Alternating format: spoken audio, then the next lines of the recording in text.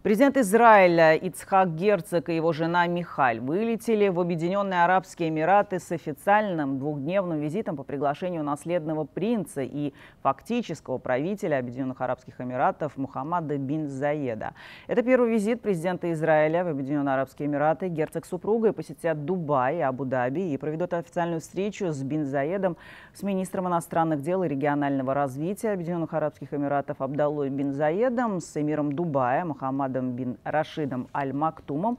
Также в ходе визита герцог откроет День Израиля на проходящей в Объединенных Арабских Эмиратах международной выставке Экспо-2020.